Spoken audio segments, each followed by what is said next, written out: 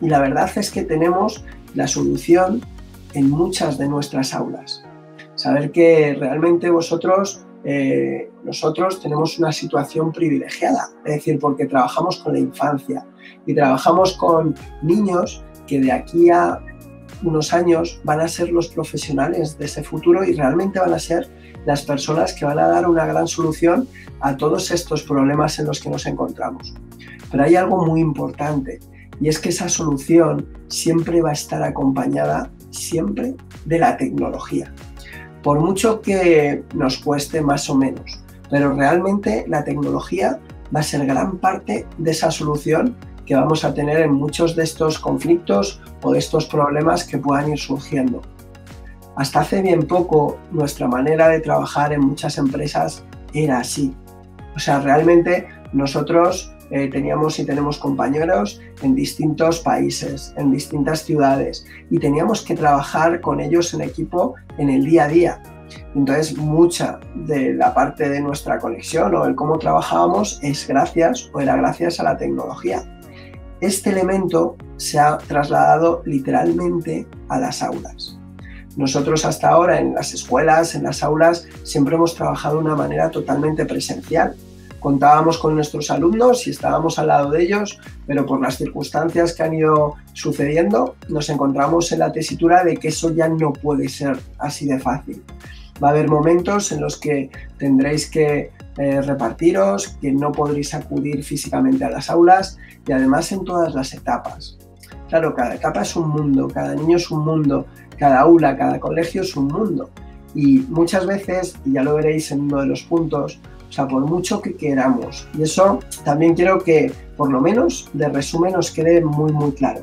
Por mucho que queramos daros ejemplos, daros recetas, deciros cuál puede ser la mejor o la peor eh, manera de hacerlo, no existen las recetas. Aquí sí que es verdad que en educación, pues es todo tan personalizado y es todo tan particular que quizás lo que valga para una escuela o valga para una clase, probablemente igual no valga para otra escuela o para otra clase.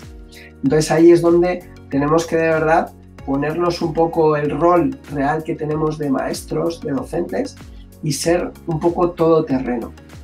Mirad, yo dentro de, las distintas, eh, sobre todo a nivel profesión, las distintas profesiones que tengo, de la que estoy más orgulloso es la de maestro. Yo soy maestro de educación especial y en educación especial, muchas veces, y muchos compañeros que también estaréis un poco en ese rol, eh, nos toca hacer ese papel de todoterreno. El adaptarte como un camaleón a cualquier circunstancia e intentar sobre todo pues llegar de la mejor manera posible a cada uno de nuestros alumnos. Cada alumno aprenderá de una manera, le gustará una cosa o le será más fácil una metodología a otro. Y eso es lo más importante. Es decir, pero que sobre todo vayamos con esa mentalidad de ser todoterreno y de intentar avanzar y ayudar un poco en esa línea, ¿no? Eh, suena un poco radical, pero ahora mismo estamos en una circunstancia en que lógicamente no podemos estar sin contar con la tecnología. Y la tecnología tiene que ser una herramienta que nos acompañe en todos los sentidos. Es verdad que a algunos de nosotros quizás nos pueda costar más, nos pueda costar menos, nos sea más fácil acceder a ella o más complicado, pero ahí también tenemos que tener mucha, mucha humildad. Humildad para pedir apoyo, apoyo a nuestros compañeros, apoyo al equipo de dirección del centro, apoyo e incluso a nuestros alumnos. Es decir, realmente aquí estamos remando todos juntos y habrá cosas en las que nos podamos atascar, puedan no funcionar, puedan, pero lo más sencillo es bajarnos con los pies a la tierra y ser muy humildes para reconocer hasta dónde podemos dar y hasta dónde podemos llegar y sobre eso trabajar. Os puedo asegurar que aquí también influye mucho la vocación.